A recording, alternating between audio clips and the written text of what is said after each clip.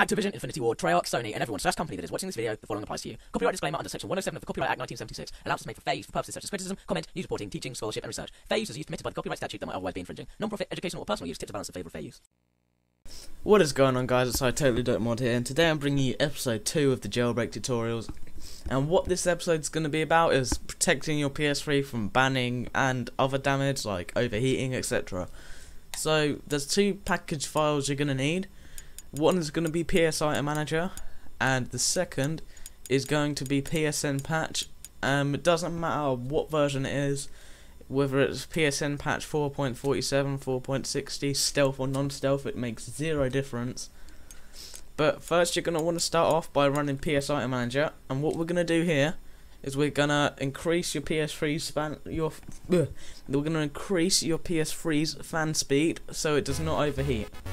This is very, very helpful. I'm, I just can't stress how great this is. So first you launch it and you press the start button go all the way down to network tools, no tools.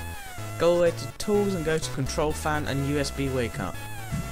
So you will be greeted with this thing and what we're going to do here is we're going to press right on the D-pad and you see I'm choosing these green things at the right. You want to change that to by user and this one here, the user slash shutdown speed, you want to keep pressing R1 until that gets to 75.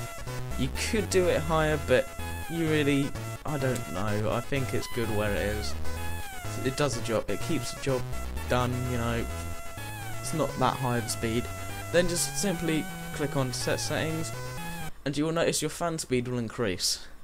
Now, every time you turn your PS3 on again, you will have to quickly run PS Manager and it will automatically load the fan speed.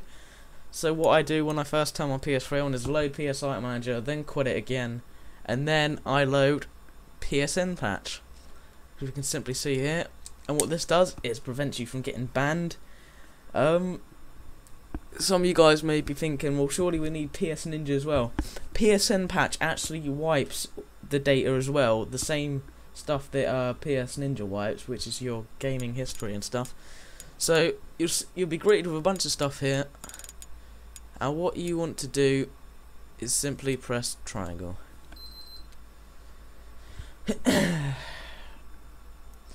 Once that's done, you are literally good to go. You can just enable your network settings and sign into PSN knowing that you will not have any chance of getting banned or your PS3